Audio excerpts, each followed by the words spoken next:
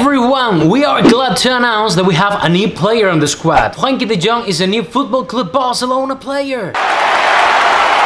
Before that, subscribe, comment below y si hablas en español activa los subtítulos aquí abajo. 10 things you don't know about Frenkie de Jong.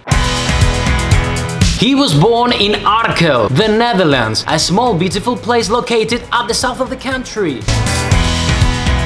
He was born on the 12th of May of 1997, so he is 21 years old.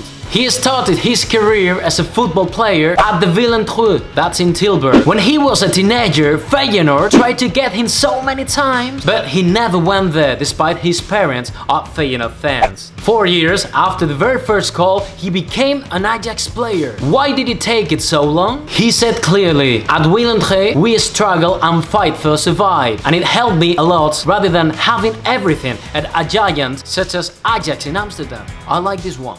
Football Club Barcelona is paying for him 75 million euros, plus 11 more depending on what trophies he gets. So he will be the most expensive transfer in Ajax history. He plays as a midfielder, he can play also as a defender. As the way he plays, we could say Frenkie has Barca's DNA on his blood. Well, he's Dutch. And you know the link between Football Club Barcelona and Dutch football. Did you know De Jong was one of the biggest fans of Leo Messi? One story. Once he was in Spain for holiday, his grandma grandfather gave to him a Leo Messi jersey as a gift. It had the number 30 at his back. Talking about Leo Messi, he said several times that Leo Messi is the best football player in the world and his dream has always been playing with Leo in the same team. Indeed, he plays for the Netherlands national team. He made his debut with them on the 6th of September in 2008. Memphis Depay came out of the pitch and he came in in a match against Peru. Not very long time ago, Dutch press compared him to Johan Cruyff on the way he drives the ball. He replied, it's an honor to be compared to such a legend, but I will will never be like him. I